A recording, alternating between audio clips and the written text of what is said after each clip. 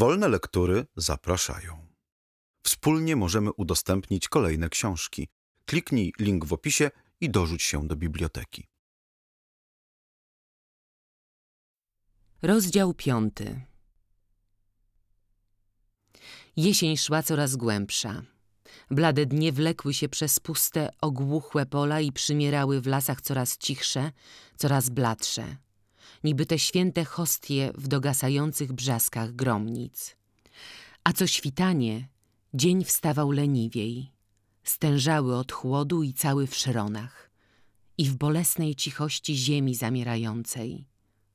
Słońce blade i ciężkie wykwitało z głębin w wieńcach wron i kawek, co się zrywały gdzieś z nad zórz, leciały nisko nad polami i krakały głucho, długo, żałośnie.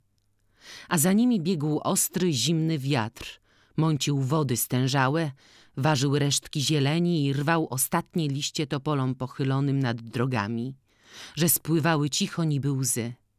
Krwawe łzy umarłego lata i padały ciężko na ziemię. A co świtanie, wsie budziły się później.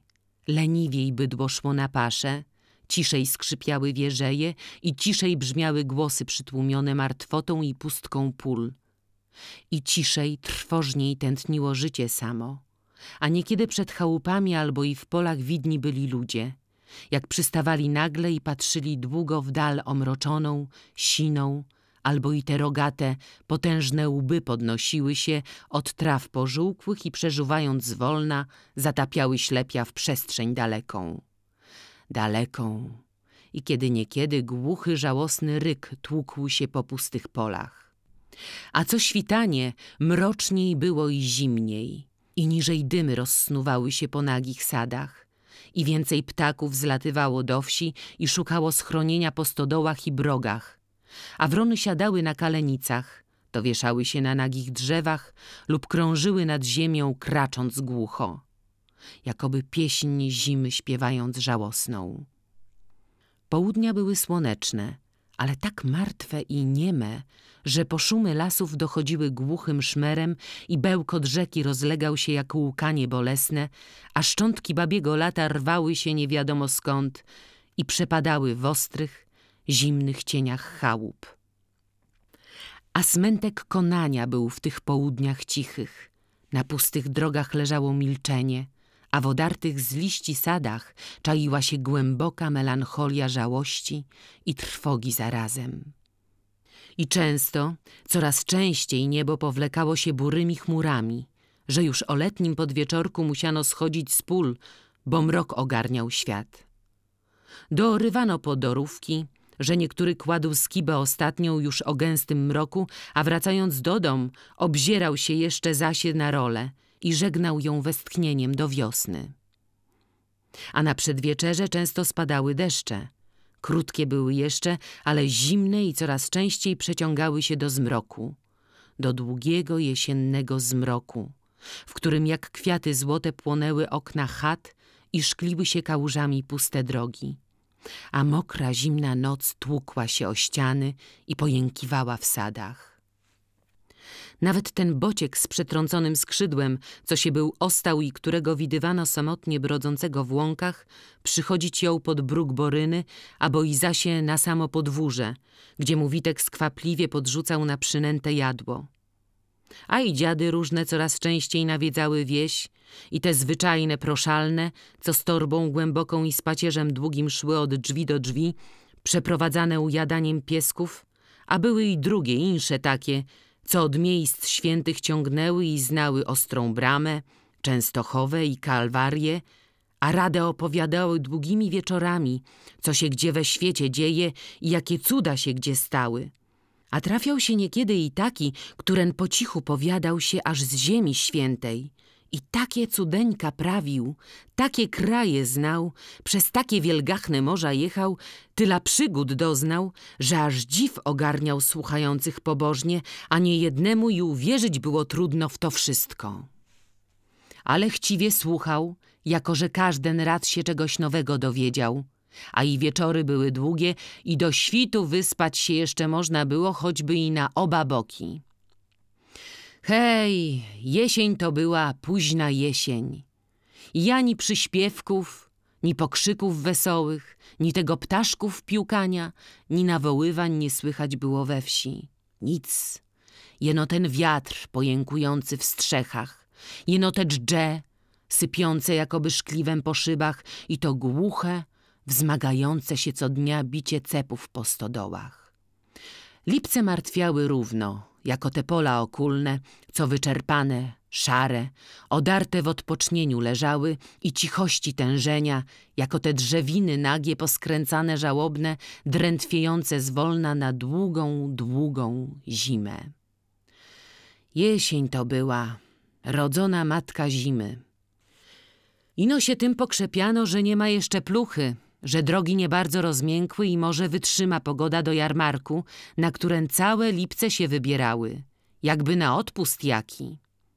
Bo jarmark miał być na świętą gordulę, walny i ostatni już przed godami, więc się nań wszyscy szykowali należycie. Już na parę dni przedtem deliberowano po wsi, co by się sprzedać dało, czy z inwentarza, czy z ziarna, albo też z drobnego przychówku, a że na zimę szło, to i kupować trzeba było niemało i z przyodziewku, i ze sprzętów, i z różnych różności gospodarskich, z czego i różne turbacje poszły i swary, i kłótnie po chałupach.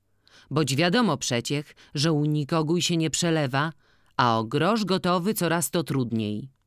A tu i rychtyk w ten czas i płacić przychodziło podatki, to gminne składki i spłaty różne między sobą, a często i przednówkowe pożyczki, a jak nie jeden to i zasługi służbie. Tyle tego razem, że niektóren choćby z półwłókowych ciężko wzdychał i kalkulował, a nic nie wychodziło bez wyprowadzenia na jarmark konia albo i krowy. A już o biedniejszych to i nie ma co rzec. Więc też i jaki taki wyprowadzał krowinę przed oborę, wycierał jej ognojone boki wiechetkiem i na noc przyrzucał koniczyny. To gotowanego jęczmienia z kartoflami byle jeno wypęczniała zdziebko. Któren znów przysposabiał stare, poślepłe całkiem wywłoki, żeby chylatyla koni były podobne na ten przykład. Insze znowu młóciły zawzięcie dnie całe, żeby zdążyć na jarmark. I u Borynów sposobiono się raźnie. Stary z Kubą domłucał pszenicy. A Juska z Hanką, co im ino czasu ostawało, to podpasały maciory i te gąski wybrane zostawianych na chowanie. Antek zaś z Witkiem, że to leda dzień spodziewano się deszczów, jeździli do boru po susz, na ogień i po ściółkę, z której co poszło do obory, a resztę zwalali pod chałupę do ogacenia ścian. I tak ta przyspieszona robota trwała aż do późna w noc ostatnią przed jarmarkiem. Dopiero gdy pszenica już we worach leżała na wozie wtoczonym do stodoły i wszystko było przyrządzone na jutro, siedli wszyscy razem do wieczerzy w Borynowej izbie. Na kominie buzował się wesoły ogień ze świerczyny, potrzaskujący cięgiem, a oni jedli wolno i w milczeniu, że to po spracowaniu nikomu się odzywać nie chciało. Aż dopiero kiedy skończyli i gdy już kobiety posprzątały miski i garnki z ławy, Boryna rzekł, coś niecoś przysuwając się do komina.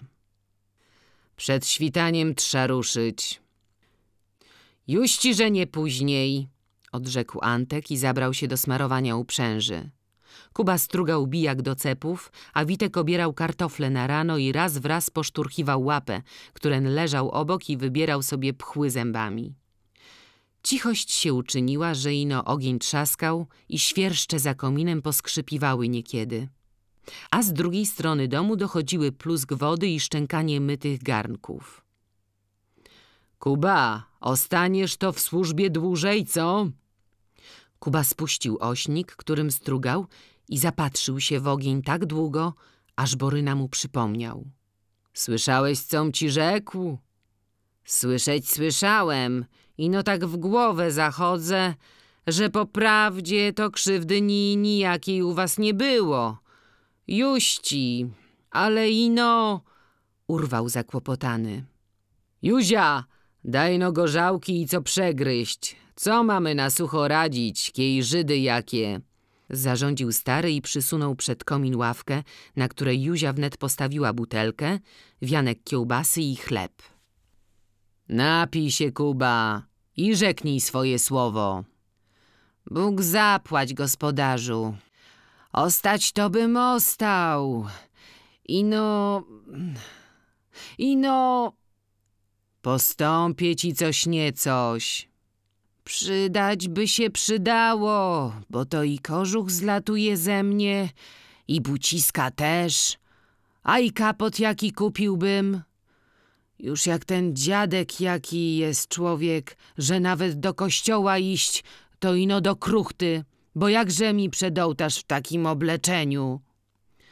A w niedzielę nie baczyłeś na to, inoś się pchał tam, gdzie najpierwsze, rzekł surowo Boryna. Juści, hale, prawda? Bąkał srodze zawstydzony i ciemny rumieniec oblał mu twarz. A to i dobrodziej naucza, żeby szanować starszych. Napino się Kuba na zgodę i słuchaj, coś rzeknę. A sam się pomiarkujesz, że co parobek to nie gospodarz. Każden ma swoje miejsce i dla każdego co innego Pan Jezus wyznaczył. Wyznaczył ci Pan Jezus twoje, to go się pilnuj i nie przestępuj. Na pierwsze miejsce się nie pchaj i nie wynoś się nad drugie, bo zgrzeszysz ciężko. I sam dobrodziej ci powtórzy to samo, że tak być musi, bych porządek na świecie był. Miarkujesz se, Kuba? Nie bydłem przeciech i swoje pomyślenie mam. To bacz, że byś się nad drugie nie wynosił.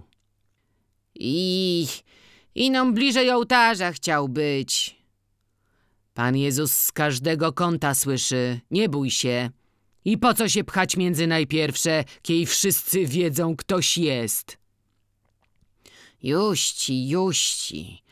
Gospodarzem byłbym, to i baldach nosić bym nosił, a i dobrodzieja pod pachę wiódł i w ławkach siadał i z książki głośno śpiewał. A że mino parobek, chocia i syn gospodarski, to mi w kruchcie stać, albo przed drzwiami jako te pieski, powiedział smutno. Takie już na świecie urządzenie jest i nie twoja głowa zmieni. Pewnie, że nie moja, pewnie. Napij się jeszcze, Kuba, i rzeknij, co ci mam zasług dodać. Kuba wypił, ale że go już nieco zamroczyła gorzałka, to uwidziało mu się, że w karczmie siedzi z Michałem od organisty, albo i z drugim kamratem i rajcują se swobodnie, wesoło, jak równy z równym. Rozciebnął zdziebko kapotę, wyciągnął nogi, buchnął pięścią w ławkę i zakrzyknął. Cztery papierki i rubla zadatku dołoży, to stanę. Widzi mi się, żeś pijany, abo ci się w głowie popsuło. Zawołał Boryna, ale Kuba szedł już za myślą swoją i dawnym marzeniem, a zresztą i nie słyszał gospodarskiego głosu, więc rozprostowywał skurczoną duszę, rósł w ambit i taką pewność siebie, jakoby samym gospodarzem się poczuł. Cztery papierki i jeszcze jeden zadatku dołoży, to u niego ostanę. A nie, to psiachmać na jarmark pójdę i służbę se znajdę. Choćby i na furmana do cugowych we dworze. Znają mnie i żem robotny i na wszystkim w polu, czy kiele domu się znający, że nie jednemu gospodarzowi bydło paściu mnie, a uczyć się. A nie to ptaszki strzelał będę i dobrodziejowi nosił, albo Janklowi, a nie? Cie, kuternoga jeden jak bryka. Kuba! krzyknął ostro stary. Kuba zamilkł, wytrzeźwiał z rozmarzenia, ale hardości nie stracił. Bojął się nieustępliwym czynić, że Boryna rad nierad dorzucał mu po pół rublu, to po złotówce, aż i stanęło, że obiecał mu na przyszły rok dołożyć trzy ruble i dwie koszule miasto zadatku. Oho, ptaszek z ciebie! Wołał stary, przepijając do niego na zgodę, choć zły był, że tyle pieniędzy wywalić musi. Ale wagować się nie było co, bo Kuba wartał i więcej. Robotny parop, choćby i za dwóch. Gospodarskiego nie ruszył i o inwentarz dbał więcej niż o siebie. Choć i kulawy był i mocy wielkiej nie miał, ale na gospodarstwie się znał. Można się całkiem spuścić na niego, że wszystko jak przynależało zrobi i jeszcze najemnika przypilnuje. Poradzili jeszcze o tym i owym i gdy się rozchodzili, Kuba już ode drzwi nieśmiało całkiem się ozwał. Zgoda na trzy ruble i dwie koszule. Ino... ino... Nie przedawajcie źrebicy. Przy mnie się uległa, kożuchem swoim przyodziewałem, żeby nie przemarzła. To bym nie ścierpiał, żeby ją żyt jaki bijał, libo i łachmytek z miasta. Nie sprzedawajcie. Złoto, nie źrebica. Kiej ten dzieciak posłuszna, koń taki, że i drugi człowiek, prosty pies przy niej. Nie sprzedawajcie. Ani mi to w głowie nie postało. Bo w karczmie powiadali i bojałem się. Opiekuny psie krwie zawsze najlepiej wiedzą. Kuba byłby go za nogi ułapił z radości i no śmieć nie śmiał. To nadział czapę i poszedł rychło, jako że i czas było spać, bacząc na jarmark jutrzejszy. Jakoż i nazajutrz, jeszcze przed świtaniem, że nieledwie po drugich kurach, a już na wszystkich drogach i ścieżkach do Tymowa ruszali się ludzie. Kto jeno żył, to z całej okolicy walił na jarmark. Nad ranem upadł mocny deszcz, ale po wschodzie przetarło się nieco. Ino niebo było zasnute burymi chmurzyskami, a nad nizinnymi ziemiami wisiały mgły szare kieby zgrzebne płótna do cna przemiękłe i po drogach szkliły się kałuże, a gdzie niegdzie po dołkach błoto chlupało pod nogami. I z lipiec wychodzono od wczesnego rana. Na topolowej drodze za kościołem i hen aż do lasów widny był łańcuch wozów toczących się wolno, krok za krokiem. Taka ciżba była, a bokami po obu stronach ino się mieniło od czerwonych wełniaków i białych kapot chłopskich. Tyle narodu szło, jakby wieś cała wychodziła. Szli gospodarze co biedniejsi, szły kobiety, szły parobki i dziewczyny i komornicy też szli, a i biedota sama. Najemnicy takoż ciągnęli, bo jarmark to był ten, na którym godzono się do robót i zmieniano służby. Kto co kupić, kto sprzedać, a jęsi byle jarmarku użyć. Któren wiódł na postronku krowina albo i ciołaka, kto zaś gnał przed sobą maciorę z prosiętami, co ino pokwikiwały i rwały się tak, że trza je było cięgiem ogarniać i stróżować, bych pod wozy nie wpadły. Jężycz łapał się na szkapie, drugie oganiały wystrzyżone barany, gdzie niegdzie zaś bieliło się statko gęsi z podwiązanymi skrzydłami, to grzebieniaste koguty wyzierały spod zapasek kobiecych, a i wozy nie zgorzej jechały wyładowane. Raz wraz z jakiegoś półkoszka spod słomy wyzierał ryj karmnika i kwiczał. Aż gęsi gęgały zestrachane i psy, co szły zarówno z ludźmi, doszczekiwać poczynały przy wozach. I szli nad całą drogą, że choć szeroka była, a pomieścić się trudno wszystkim było, że jaki taki schodził na pole w bruzdy. O dużym już dniu, kiej się tak przetarło na niebie, że ino ino słońca było patrzeć, wyszedł i Boryna z chałupy. Przudzi już, bo o świtaniu Hanka z Juską pognały maciorę i podpasionego wieprzka, a Antek powiózł dziesięć worków pszenicy i pół korczyka czerwonej koniczyny. W domu ostawał tylko Kuba z Witkiem i Jagustynka, przywołane, żeby jeść uważyła i krów dojrzała. Witek beczał w głos pod oborą, bo chciało mu się na jarmark. Czego się to głupiemu zachciewa? Mruknął Boryna, przeżegnał się i poszedł pieszo, bo liczył, że się po drodze przysiędzie do kogo. Jakoż i zaraz tak się stało, bo tuż za karczmą dopędził go organista, jadący bryczką w parę tęgich koni. Cóż to, na piechty Macieju? Dla zdrowia, niech będzie pochwalony. Na wieki! Siadajcie z nami, zmieścimy się! proponowała organiścina. Bóg zapłać, doszedłbym, ale jak powiadają zawsze milej duszy, kiej ją wóz ruszy. Odrzekł sadowiąc się na przednim siedzeniu plecami do koni. Podali sobie przyjaźnie ręce z organistami i konie ruszyły.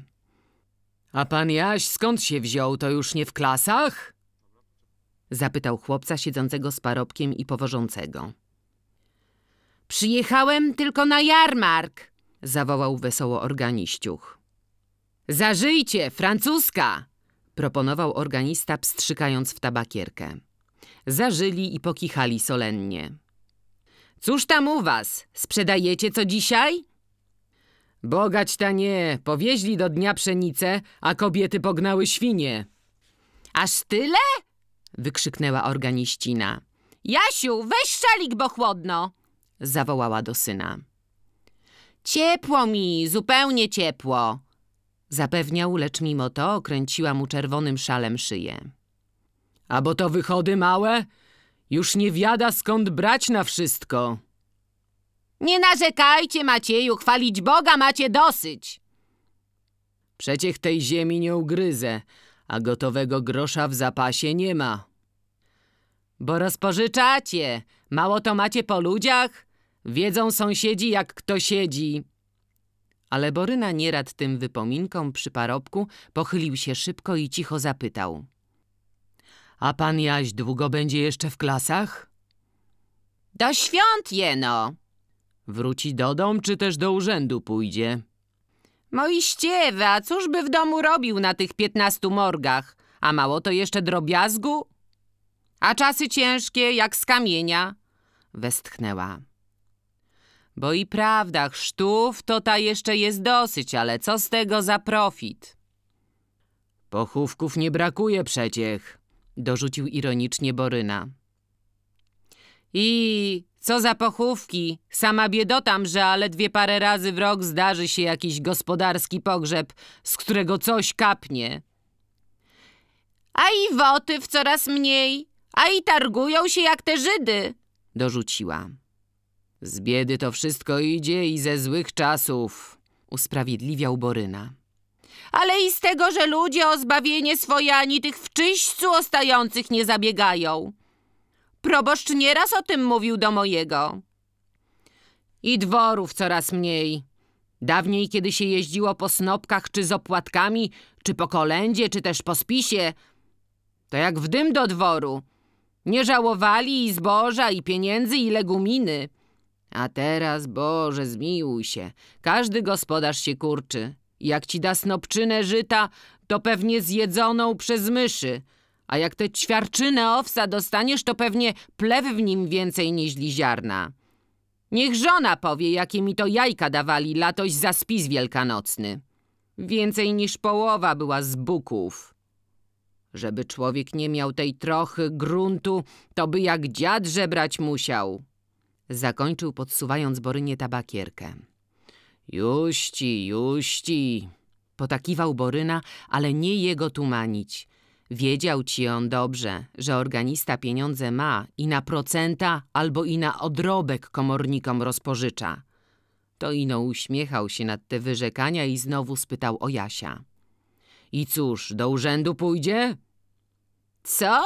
Mój Jaś do urzędu na pisarka? Nie potom sobie od gęby odejmowała, żeby skończył szkoły, nie? Do seminarium pójdzie na księdza. Na księdza? Abo mu to źle będzie?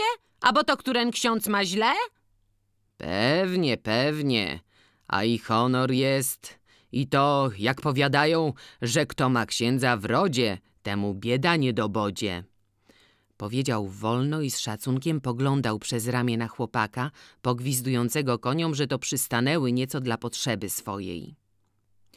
Mówili, że i młynarzów Stacho księdzem miał być, a teraz jest pono we wielkich szkołach i na doktora praktykuje. Ale księdzem by być takiemu łajdusowi. Przecież moja Magda jest już w szóstym miesiącu. I to od niego. Powiadali, że to od młynarczyka. Ale prawda była. Młynarzowa tak gada, żeby swojego zasłonić. Rozpustnik to, że niech ręka boska broni. Prawie mu iść na doktora. Juści, że księdzem być lepiej, bo to i Panu Jezusowi chwała i ludziom na pociechę. Pogłaskał ją chytrze Boryna, bo co się tam miał spierać z kobietą. I całkiem uważnie słuchał jej wywodów, a organista raz po raz uchylał czapki i głośnym na wieki odpowiadał na pozdrowienia wymijanych ludzi. Jechali truchtem i Jasio chwacko wymijał wozy, to ludzi, to inwentarz prowadzony, aż dopadł lasu, gdzie już luźniej było i droga szersza. Zaraz na skraju dopędzili Dominikową. Jechała z Jagną i Szymkiem, a krowa uwiązana za rogi szła za wozem, z którego wyglądały białe szyje gąsiorów, cięgiem syczących jako te żmije. Pochwalili Boga, a Boryna aż się wychylił przy mijaniu i zawołał. Spóźnita się! Zdążym na czas! Odkrzyknęła Jagna ze śmiechem. Przejechali, ale organiściuch parę razy obracał się za nią, aż w końcu spytał. To Jagusia Dominikowa? Ona ci sama, ona, powiedział Boryna patrząc z oddalenia na nią. Nie poznałem, bo dobrze już ze dwa lata jej nie widziałem. Mutka to jest jeszcze, a wtedy bydło pasała. Rozbuchała się inokiej jałowica na koniczynie. Jaż się wychylił, żeby spojrzeć na nią. Bardzo ładna, rzucił chłopak. Jak wszystkie dziewki, powiedziała organiścina pogardliwie. Juści, że gładka, udała się dziełcha. To też nie ma tygodnia, żeby kto do niej z wódką nie posyłał. Przebierna. Stara myśli, że co najmniej to już jakiś rządca zjedzie po nią i parobków odgania, szepnęła zjadliwie. Bo mógłby ją wziąć i taki, co siedzi choćby i na włóce. Warta tego. To tylko wam posłać swatów, Macieju, kiedy ją tak chwalicie. Zaczęła się śmiać, a Boryna już się nie ozwał ni słowem. Ale taki tam łachmytek miecki, wielka mi osoba, co ino gospodarskim kurom pod ogon uważa. Czy dla niej jajków nie niesą, albo i ludziom w garście? Będzie się ta przekpiwała z rodowych gospodarzy. Wara ci od Jagusi. Myślał zeźlony silnie i ino poglądał przed się na czerwieniejący zapaskami wóz Dominikowej, któren ostawał coraz dalej, bo Jasio tęgo prażył konie, że rwały z kopyta, aż się błoto otwierało. Próżno organiścina pogadywała o tym i owym, kiwał głową, coś ich tam mamrotał pod nosem i tak się zawziął, że ozwać się nie chciał ni słowem jednym. I skoro tylko wjechali na wyboisty bruk miasteczka, zesiadł z bryczki i jął dziękować za podwiezienie. Pod wieczór wracamy, chcecie to się przysiądźcie do nas, proponowała. Bóg zapłać, mam przeciech swoje konie. Powiedziałyby, że się do kalikowania godzę. Na pomocnika organiście, a ja ta nuty nijakiej nie wyciągnę i świeców gasić nienauczny. Pojechali w boczną uliczkę, a on się zwolna przedzierał przez główną do rynku, bo jarmark był sielny i choć to jeszcze dość rano, a narodu już się gęstwiło nie zgorzej. Wszystkie ulice, place, zaułki i podwórza zawalone były ludźmi, wozami i towarem różnym. Nic jeno ta wielka woda, do której cięgiem jeszcze ze wszystkich stron dopływały nowe rzeki ludzkie i cieśniły się, kolebały, toczyły po ciasnych uliczkach, a że domy się trząść zdały i rozlewały po wielkim placu klasztornym. Niewielkie jeszcze po drodze błoto, tutaj bite i rozrabiane tysiącami nóg, było już po kostki i tryskało spod kół na wszystkie strony. Gwar już był znaczny, a wzmagał się z każdą chwilą. Głucha wrzawa huczała niby bór, kiej morze się kolebała, biła o ściany domów i przewalała z końca w koniec, że tylko niekiedy słychać było ryki krów, to granie katarynki przy karuzeli, to płaczliwe lamentacje dziadów albo ostre, przenikające piszczałki koszykarzy. Jarmark był wielki, co się zowie, narodu skupiło się tyla, że i przejść było niełatwo, a już w rynku pod klasztorem to Boryna przez siłę pchać się musiał, taki gąszcz się czynił między kramami. Było też tego, że ani przeliczyć, nie objąć, gdzieby zaś tam kto poradził. A najpierwej te płócienne, wysokie buty, co stały wzdłuż klasztoru we dwa rzędy, zapchane całkiem towarem kobiecym, a płótnami, a chustkami, co wisiały na żerdach i jako te maki były czerwone, że aż się w oczach ćmiło, a drugie zasie całkiem żółte się widziały, a insze buraczkowe. I kto je tam wszystkie spamięta? A dziełch i kobiet pełno tu przed nimi, że i kija nie było gdzie wrazić. Która targowała i wybierała sobie, a drugia, aby ino popatrzeć i oczy se ucieszyć ślicznościami. A potem znów szły kramy, co się aż lśniły od paciorków, lusterek, szychów, a wstążek, a krysków onych na szyję, a kwiatuszków zielonych, złotych i różnych, a czepków i Bóg ta wie czego jeszcze. Gdzie znowu święte obrazy przedawali w pozłocistych ramach i za szkłem, że choć stały pod ścianami albo i zgoła na ziemi leżały, a szedł od nich blask, że jaki taki do czapki sięgał i znak krzyża czynił świętego. Boryna kupił jedwabną chustkę na głowę dla Juski, którą był jeszcze na zwiesnę obiecał dziewczynie za pasionkę. Wsadził za pazuchę i jął się przepychać do targowiska świńskiego, co było za klasztorem. Ale szedł wolno, że to ciżba była sroga i że się popatrzeć było na co. Gdzie czapnicy pod domami porozwieszali szerokie drabiny, zawieszone od góry do dołu czapkami – gdzie znów szewcy tworzyli całą ulicę wysokich kozłów drewnianych, na których szczepione za uszy wisiały szeregi butów i takich zwyczajnych żółtych do smarowania przetopionych sadłem, żeby wody nie puściły, i takich już pod glanc przyszykowanych, i ciżem kobiecych z czerwonymi sznurowadłami, a na wysokich obcasach. A za nimi ciągnęły się rymarze z homontami na kołkach i uprzężą rozwieszoną a potem powroźnicy i ci, co sieci sprzedawali, i ci, co z sitami po świecie jeździli, i ci, co z kaszą po jarmarkach się wodzili. A kołodzieje, a garbarze. Gdzie znowu krawce i kożucharze rozwiesili swoje towary, od których bił taki zapach, a że w nozdrzach wierciło. Te miały odbyt niezgorszy, że to na zimę szło. A potem całe rzędy stołów nakrytych płóciennymi daszkami, a na nich zwoje kiełbas czerwonych i grubych kiejliny, wały żółtego sadła, boczki wędzone, połcie słoniny, szynki, spiętrzały się na kupach, a gdzie znów na hakach wisiały całe wieprzki wypaproszone i broczące jeszcze posoką, że trzeba było odganiać piesków, co się cisnęły a w podle rzeźników jako te braty rodzone stali piekarze i na podesłanej grubosłomie, na wozach, na stołach, w koszach i gdzie się dało leżały góry bochnów wielkich jak koła, placków żółtych, bułek, kukiełek. Gdzie zaś i kto przeliczy i spamięta te wszystkie kramy i to, co w nich sprzedawali. Były z zabawkami i takie z piernika, gdzie z ciasta lepione były zwierza różne – a serca, a żołnierze i cudaki takie, że i nie rozeznać byle komu.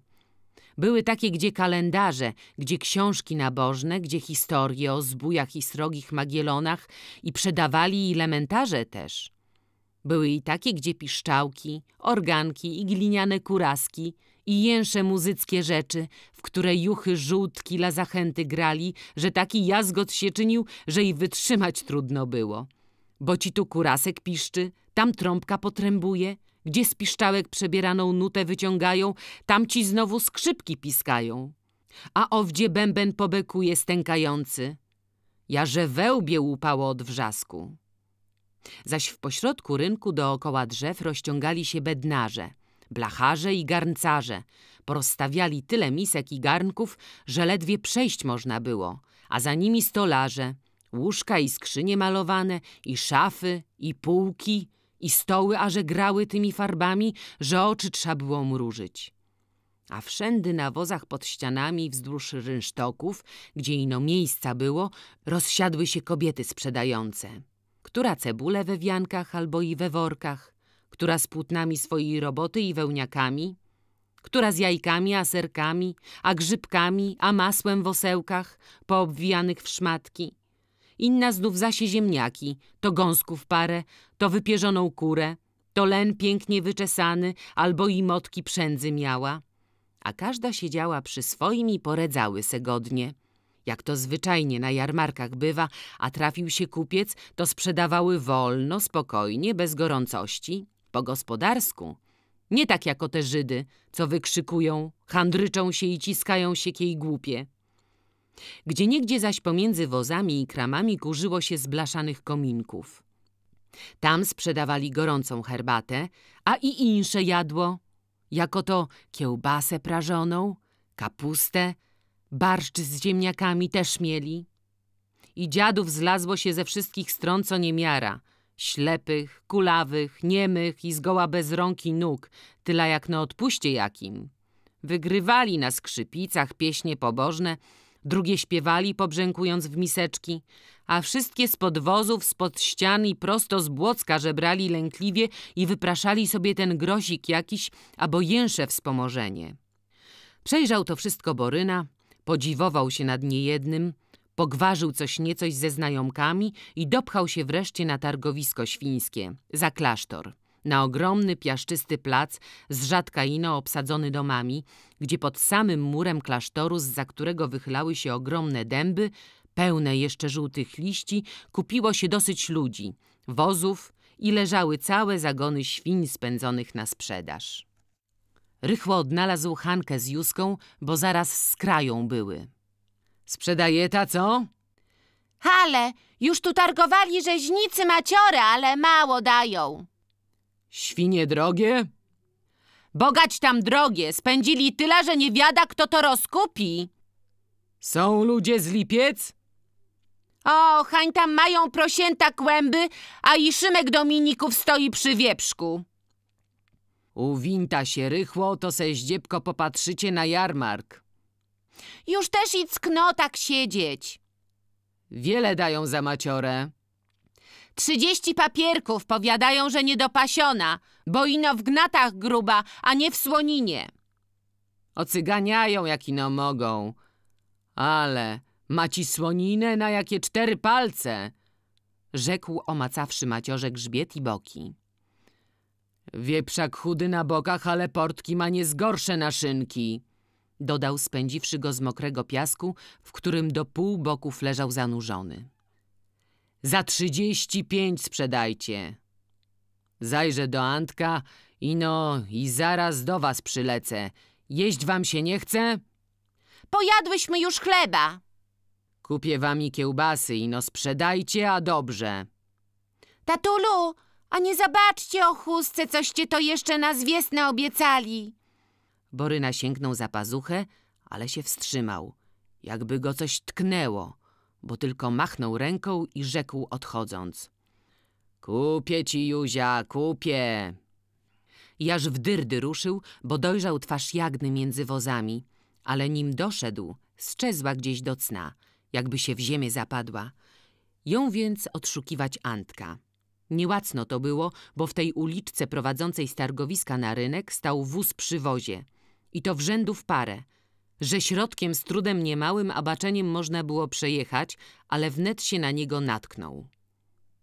Antek siedział na workach i smagał batem żydowskie kury, co się stadami uwijały koło kobiałek, z których jadły konie, a półgębkiem odpowiadał kupcom. Powiedziałem siedem, to powiedziałem. Sześć i pół daje, więcej nie można, pszenica ze śniedzią. Jak ci parchu lunę przez ten pysk paskudny, to ci wnet ze śniedzieje. Ale pszenica czysta jak złoto. Może być, ale wilgotna. Kupię na miarę i po sześć rubli i pięć złotych. Kupisz na wagę i po siedem, rzekłem. Co się gospodarz gniewa? Kupię, nie kupię, a potargować można. A targuj się, kiej ci pyska nie szkoda. Nie zwracał już uwagi na Żydów, którzy rozwiązywali worki po kolei i oglądali pszenicę. Antek, pójdę ino do pisarza i w to, o czym gnienie przyjdę do cie. Co, na dwór skargę podajecie? A bez kogo to padła moja graniasta? Dużo tam wskuracie. Swojego darować nie daruję. I borowego przyprzeć gdzie w boru do chojaka, sprać czym twardym, żeby mu aż żebra zapiszczały. Zaraz byłaby sprawiedliwość. Borowy, juści, że mu się to należy, ale dworowi też, rzekł twardo. Dajcie mi złotówkę. Na co ci? Gorzałki bym się napił i przegryzł co. Nie masz to swoich? Cięgiem ino wojcowe garść uważasz. Antek odwrócił się gwałtownie i jął pogwizdywać ze złości, a stary, chociaż z żalem i markotnością, wysupłał złotówkę i dał. Żyw wszystkich swoją krwawicą, myślał i spiesznie się przeciskał do ogromnego narożnego szynku, gdzie było już sporo ludzi pożywiających się. W Alkierzu od podwórza mieszkał pisarz. Właśnie siedział pod oknem przy stole z cygarem w zębach, w koszuli był tylko, nieumyty i rozczochrany. Jakaś kobieta spała na sienniku w kącie przykryta paltem. Siadajcie, panie gospodarzu!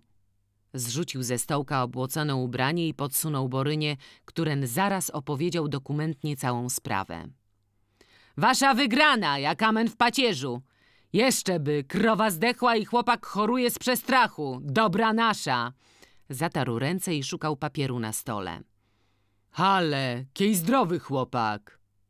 Nic nie szkodzi, mógł zachorować. Bił go przecież. Nie, bił ino chłopaka sąsiadów. Szkoda, to by było jeszcze lepsze. Ale to się jakoś zesztukuje, tak że będzie i choroba z pobicia i zdechła krowa. Niech dwór płaci. Juści, o nic nie idzie ino o sprawiedliwość. Zaraz się napiszę skargę. Frania, ruszno się wałkoniu! Krzyknął i tak mocno kopnął leżącą, że podniosła rozczochraną głowę. Przynieś no gorzałki i co zjeść. Ani dytka nie mam, a wiesz, Guciu, że nie zborgują. Mruczała i podniósłszy się z barłogu, jęła ziewać i przeciągać się. Wielka była jak piec. Twarz miała ogromną, obrzękłą, posiniaczoną i przepitą, a głos cienki, jakby dzieciątka. Pisarz pracował, aż pióro skrzypiało, pociągał cygara, puszczał dym na borynę, który przypatrywał się pisaniu. Zacierał chude, piegowate ręce i raz w raz odwracał wynędzniałą, okroszczoną twarz na frankę. Zęby przednie miał przyłamane, usta sine i wielkie czarne wąsy. Napisał skargę, wziął za nią rubla, wziął na marki drugiego i ugodził się na trzy zastawanie w sądzie, jak sprawa przyjdzie na stół. Boryna się na wszystko zgodził skwapliwie, choć mu ta pieniędzy było żal, bo miarkował, że dwór mu wszystko zapłaci i z nawiązką. Sprawiedliwość musi być na świecie, to sprawa wygrana, rzekł na odchodnym. Nie wygramy w gminnym, to pójdziemy do zjazdu. Zjazd nie poradzi, pójdziemy do okręgowego, do izby sądowej, a nie darujemy. Zaś bym tam darował swoje, zawołał z zawziętością Boryna. I komu jeszcze? Dworowi, co ma tyle lasów i ziemi? Rozmyślał, wychodząc na rynek i zaraz jakoś przy czapnikach natknął się na Jagnę. Stała w czapce granatowej na głowie, a drugą jeszcze targowała. Obaczcie no, Macieju, bo ten żółtek powiada, że dobra, a pewnikiem cygani. Galanta, dla Jędrzycha? Juści Szymkowi już kupiłam. Nie za mała to będzie? Takusieńką ma ci głowę i moja. Piękny z ciebie byłby parobeczek. A bo i nie? Zawołała zuchowato, bakierując nieco czapkę. Wnetki by cię tu godziły do siebie. Hale, iną za droga do służby, zaczęła się śmiać. Jak komu? Mnie byś ta za droga nie była. I w polu robić bym nie robiła? Robiłbym ja za ciebie, Jaguś, robił. Szepnął ciszej i tak spojrzał na nią namiętnie, aż dziewczyna cofnęła się z zakłopotania i już bez targu zapłaciła za czapkę. Sprzedaliście krowę? Zapytał po chwili, opamiętawszy się nieco i wytchnąwszy z owej lubości, co mu jak gorzałka buchnęła do głowy. Kupili ją dla księdza do Jeżowa. Matka poszła z organistami, bo chcą zgodzić parobka. A, to my sobie choćby na ten kieliszek słodkiej wstąpimy. Jakże to? Zziębłaś, Jaguś, to się zdziebko ogrzejesz. Gdziebym zaś z wami szła na wódkę? A, to przyniesę i tutaj się napijem. Jaguś. Bóg zapłać za dobre słowo, ale mi matki trzeba poszukać. Pomogę ci, Jaguś. Szepnął cichym głosem i poszedł przodem. A tak robił łokciami, że Jagna swobodnie szła za nim wskroś ciżby. Ale gdy weszli między płócienne kramy, dziewczyna zwolniła. Przystawała i aż jej oczy rozgorzały do tych różności porozkładanych. To ci śliczności, mój Jezus kochany! Szeptała przystając przed wstążkami, które uwieszone w górze kołysały się na wietrze niby tęcza paląca. Która ci się widzi, Jaguś, to se wybierz. Rzekł po namyśle, przezwyciężając skąpstwo. Ale ta żółta w kwiaty z rubla kosztuje albo i dziesięć złotych. Nie twoja w tym głowa, weź ino. Ale Jaguś przez siłę i z żalem oderwała ręce od wstążki i poszła dalej, do drugiego kramu. Boryna ino pozostał na chwilę. A w tym znowu chustki były i materie na staniki i kaftany. Jezus mój, jakie śliczności, Jezus! Szeptała oczarowana i raz w raz zanurzała ręce drżące w zielone atłasy, to w czerwone aksamity i aż się jej ćmiło w oczach i serce dygotało z rozkoszy. A te chustki na głowę, pąsowe, jedwabne, z zielonymi kwiatami przy obrębku, złociste całe jej ta święta monstrancja, a modre jako to niebo po deszczu, a białe, a już najśliczniejsze te mieniące, co się lśniły kiej woda pod zachodzącym słońcem, a lekkie, kieby z pajęczyny. Nie, nie ścierpiała i jęła przymierzać na głowę, a przeglądać się w lusterku, które przytrzymywała Żydówka. Ślicznie jej było, jakoby zorza namotała na swoich lnianych włosach, a one modre oczy tak rozgorzały z radości, aż fiołkowy cień padał od nich na twarz pokraśniałą.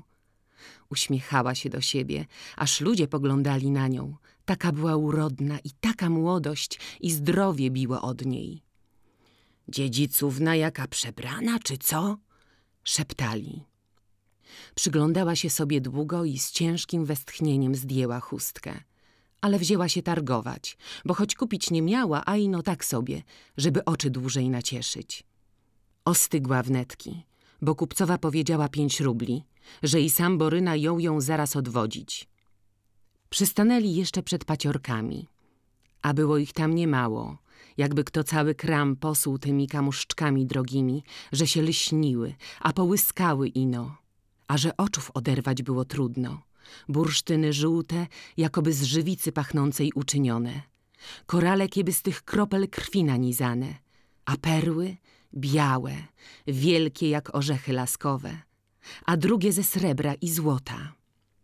Przymierzała Jaguś niejedne i przebierała między nimi, a już się jej widział najśliczniejszym sznur korali, obwinęła nimi białą szyję we cztery rzędy i zwróciła się do starego.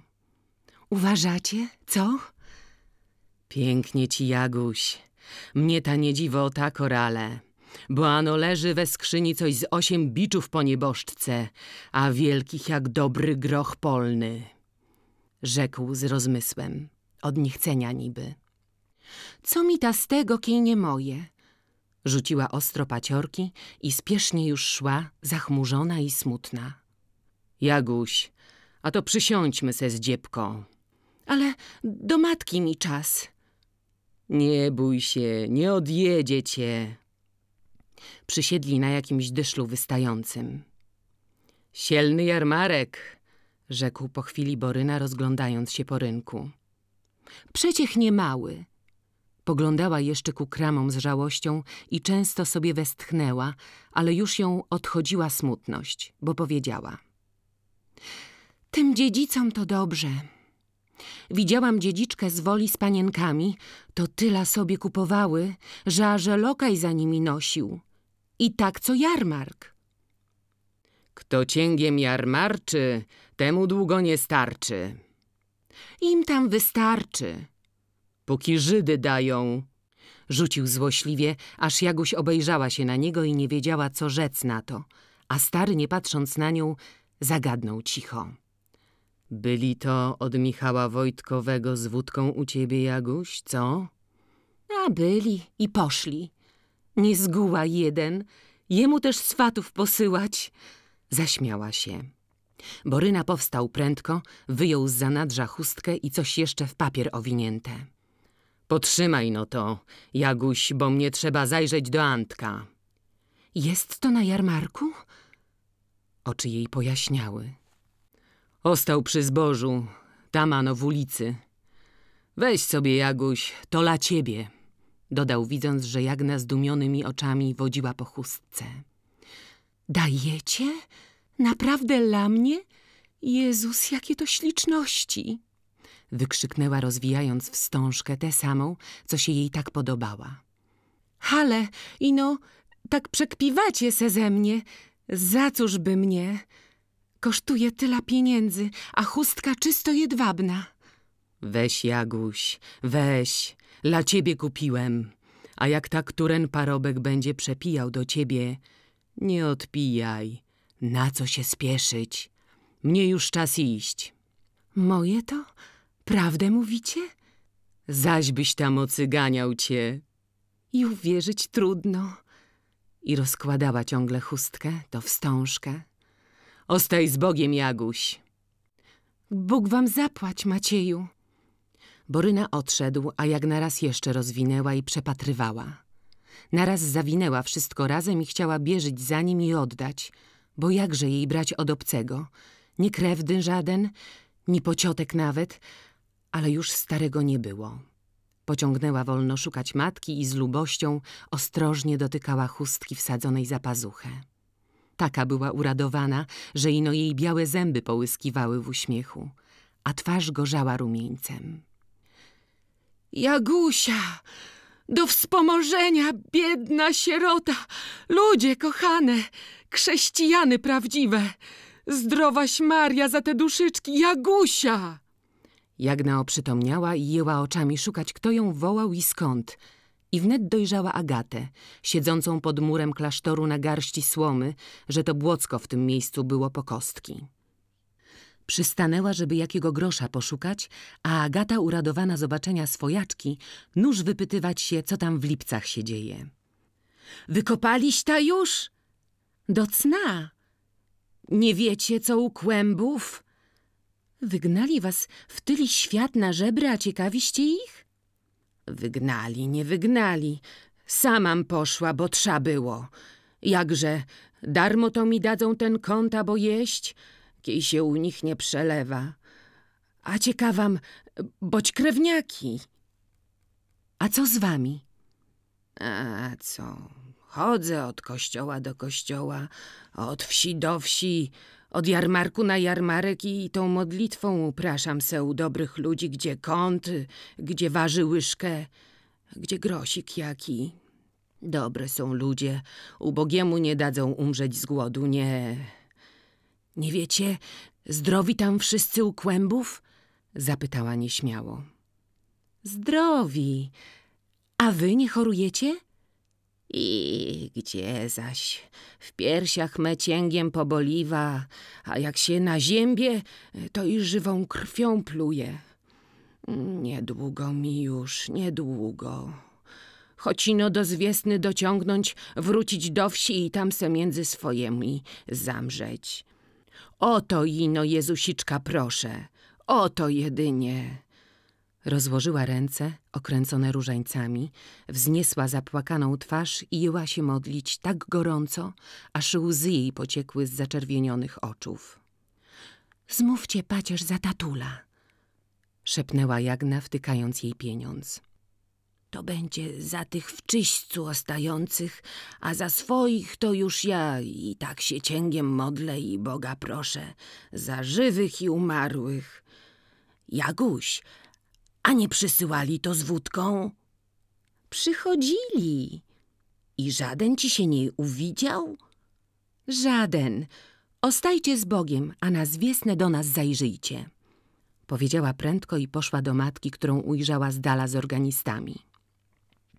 Boryna zaś powracał do Antka wolno, raz, że ciżba była, a drugie, że mu Jaguś cięgiem w myśli stała, ale nim doszedł, spotkał się z Kowalem.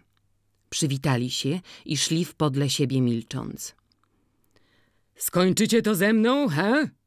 Zaczął ostro Kowal. Niby z czym? Mogłeś mi to samo i w lipcach powiedzieć. Zły już był. Przecież już cztery roki czekam. Przybaczyłeś se dzisiaj, to se jeszcze poczekaj ze czterdzieści. kiej zamrę. Już i ludzie mi redzą, żeby do sądu podać, ale... Podaj, powiem ci, gdzie skargi piszą i na pisarza dam rubla. Ale se myślę, że po dobremu się zagodzimy, skręcił chytrze. Prawda, z kim nie wojną, z tym zgodą. Sami to miarkujecie nie zgorzej. Mnie ta z tobą ni zgody, ni wojny nie potrzeba. Zawsze to pierwszy żonie powiadam, że ojciec jest za sprawiedliwością. Kużden jest za sprawiedliwością, komu ją w kumy prosić potrza. Mnie nie potrza, bom ci nic nie winowaty. Powiedział twardo, aż kowal zmiękł, że to z tej strony go napocząć nie napocznie i jakby nigdy nic, najspokojniej i prosząco rzekł. Napiłbym się czego. Postawicie? Postawię. Jakże najlepszy zięć prosi, to choćby i całą kwartę. Przekpiwał zdziebko, wchodząc do narożnego szynku.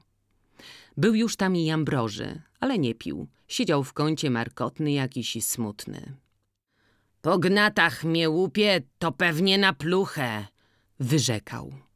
Wypili raz i drugi, ale w milczeniu, bo obaj dość złości mieli do się na wątpiach. Kiej na pogrzebie pije ta, ozwał się Jambroży, zły juści, że go to nie poprosili, bo od rana jakby nic w gębie nie miał. Jakże gadać? Ojciec tyla dzisiaj sprzedaje, to muszą uważać, komu pieniądze na prezenta dać. Macieju, mówię wam, Macieju, że Pan Jezus... Komu Maciej, to Maciej, a tobie wara. Widzisz go, juche, za pan brat świnia z pastucha. Ozeźlił się srodze. A kowal, że to już po dwóch mocnych, nabrał rezonu i rzekł cicho. Ojciec, powiedzcie to słowo, dacie czy nie? Powiedziałem, do grobu ze sobą nie zabierę, a prudzini morga nie popuszczę. Na wycuk do waju nie pójdę. Jeszcze mi miły ten rok, bo i dwa na świecie. To spłatę dajcie. Rzekłem, słyszałeś? Za trzecią kobietą się oglądają, to co im ta znaczą dzieci? Szepnął Jambroży. A bo i pewnie. Spodoba mi się, to się i ożenie. Zabronisz? Zabronić nie zabronię, ale jak mi się spodoba, to z wódką poślę choćby jutro. Ślijcie, a bo ja to wam przeciwny. Dajcie mi chociaż tego ciołka, co wam ostał po graniastej, to i sam pomogę. Rozum wy swój macie, to miarkujecie z czym wam najlepiej. Nie raz i nie dwa przekładałem żonie, co wam ano kobiety potrzeba, żeby upadku w gospodarstwie nie było. Mówiłeś to tak, Michał? Żebym tak spowiedzi świętej nie doczekał. Mówiłem, całej wsi przecież redzę, jak komu potrzeba, a nie wiedziałbym, co wam potrzeba? Cyganisz ty, jucho, aż się kurzy. Ale jutro przyjdź. Ciołka dostaniesz, bo jak prosisz, dam. A prawować się zechcesz ze mną, to ten patyk złamany weźmiesz, albo i co gorsze. Napili się jeszcze, Kowal już postawił i przyzwał jeszcze do kompanii Jambroża, któren ochotnie się przysiadł i jął gadki ucieszne opowiadać, a przekpiwać się, że raz wraz śmiechem wybuchali. Niedługo cieszyli się ze sobą, bo każdemu pilno było iść do swoich, a i do spraw różnych. Rozeszli się w zgodzie, ale jeden drugiemu nie wierzył ani tyle, co za paznokciem. Znali się dobrze, jak te łyse konie i przezierali na wskroś, kiedy przez szyby. Jambroży tylko ostał, poczekiwał na kumów albo i znajomków, żeby mu kto postawił jeszcze jaką półkwaterkę. Bo dobra i psu mucha, póki kto całego gnata nie rzuci, a napić się lubią nie zgorzej. I samemu stawiać sobie było trudno, a nie dziwota. Kościelnym był ino. I jarmark dobiegał już końca. W samo południe zaświeciło słońce, ale tylko tyle, co by kto lustrem mignął po świecie. I zaraz się schowało za chmury a już przed wieczorem sposępniało na świecie. Chmurzyska wlekły się nisko, że prawie na dachach leżały i drobny deszcz jął siać przez gęste sito. To i rozjeżdżali się prędzej, każdy spieszył do dom, żeby się dostać przed nocą i większą pluchą.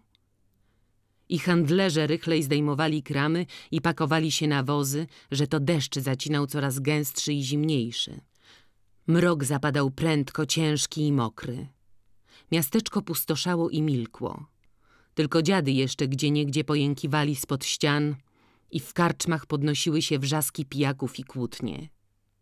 Jakoś już o samym wieczorze wyjechali z miasta Borynowie. Sprzedali wszystko, co mieli, nakupowali różności i użyli jarmarku, co się zowie. Antek podcinał koni i jechał, aż się błoto otwierało, bo i ziąb był i podpili sobie wszyscy niezgorzej. Stary choć skąpy był i aż piszczał za groszem, a takich dzisiaj ugaszczał jadłem i napitkiem i tym dobrym słowem, że aż dziwno było.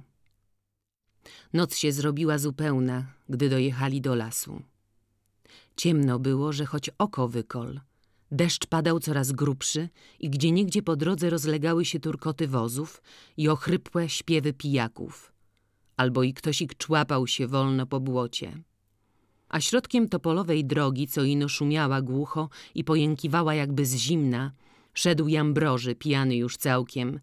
Taczał się z boku na bok, czasem utknął na drzewo albo i w błoto ale się rychło podnosił i cięgiem podśpiewywał na całe gardło, jak to miał we zwyczaju.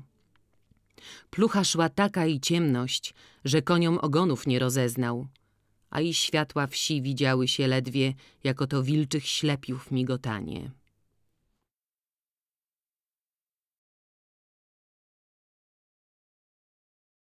Audiobook pochodzi z darmowej biblioteki internetowej Wolne Lektury.